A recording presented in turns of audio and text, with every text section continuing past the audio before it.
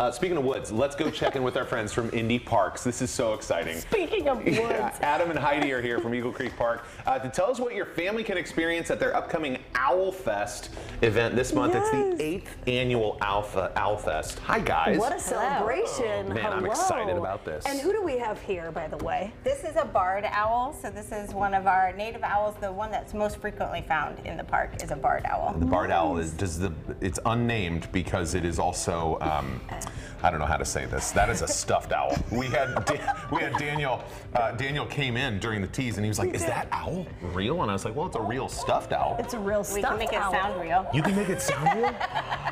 You've got sound effects over there. Are these different owl sound effects? They are different owl sound effects. So most people, when they think of an owl, they think of them just hooting. Yeah. Yes. Um, but the barred owl, people say it's asking you a question. It's asking who cooks for you. So if you listen, I'm holding it up to my who mic right for now. you? Who cooks for you all?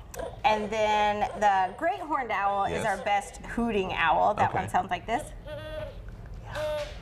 That's a good hooter right there. I was just thinking the same Yeah, thing. it's a nice hooter. And then that's the alarm call. So that one's a little startling. Oh, that'll, yeah, that'll Yeah. wake you up. I've already learned so much about owls. Yeah, Uh, And you can too. Tell us about Owlfest. What's going on? Sure. Yeah, so I'm with Eagle Creek Park Foundation. We're the uh, primary uh, nonprofit fundraiser for the park, and this is our biggest fundraiser, eight- Okay. the eighth annual Owl Fest. So there's going to be lots of ways that you can give back to the park. Uh, there's concessions, there's merchandise, and there's this silent auction with more than 100 items online that Look you can at donate and help support things like Owl Fest moving forward. Wow, this would be such an incredible educational opportunity.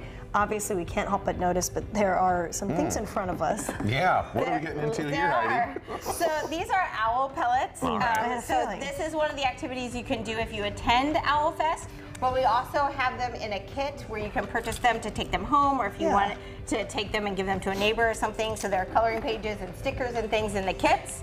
so an Oh. owl pellet, best way to start it is actually with your fingers. Just- just start crumple it up. kind of twisting For it. Anybody that doesn't know what an owl owl pellet is, and I Yeah. remember this from school. What is this? So owls are predators. They're out there ho- hunting mostly rodents, but they do eat other Hmm. things, and this is how we find out what they eat. So they don't have the ability to digest the hair, the teeth, the bones, the claws of anything that they're eating. And over time, that comes back up in the form of a pellet. Yeah. And so as you break it up, you can start to notice. Which actually, if you don't even break yours up, we can look right here, and we already know that your owl ate a rodent because uh-huh. rodents are the have that. teeth. Absolutely, and Oh. rodents have that orange enamel on the front of their teeth that help keep I don't them know nice and sharp. I, I So- don't really want to hear. Like, I think they should see this though. Uh, I when think you said hair and bones- are teeth on the front of it, like so. Do you see that? Just like a little. Absolutely. Man, it is it is a sensory experience. Oh gosh. So you, those will get you. so you have kits that people can take home. Can people do this at Owlfest? They can absolutely do it at Owlfest, Yeah. but if you purchase a kit, you get some additional things like the mm. sticker, the coloring pages, the little Raptor card that's a little collector card, and then as always, you have a cup so you can take home all your little bones All and the hair bits. bones. I think Yeah, so like this a- is kind of some of the This is things you can example. find. I think I got like a Wow. toenail in there. I don't know what that is. Maybe it's a small That's talon. like a, like a little maybe claw or something. Ooh, I I don't got a know. break. I so didn't you can realize. start to identify different types of bones, like shoulder blades or ribs. You can do jaw bones. This is a full-on skull here.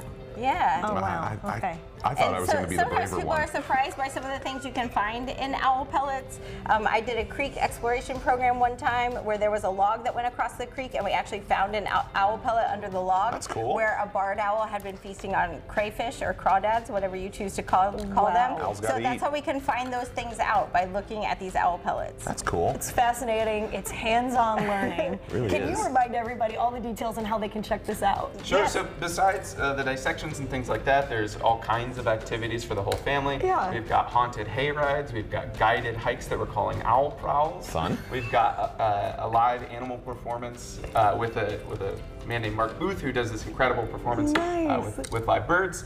Um, and uh, t- to, to attend, they'll be on Saturday and Sunday, the, the 21st and 22nd. And actually, because this event has grown so much, we've actually snuck some things in on that Friday, the 20th.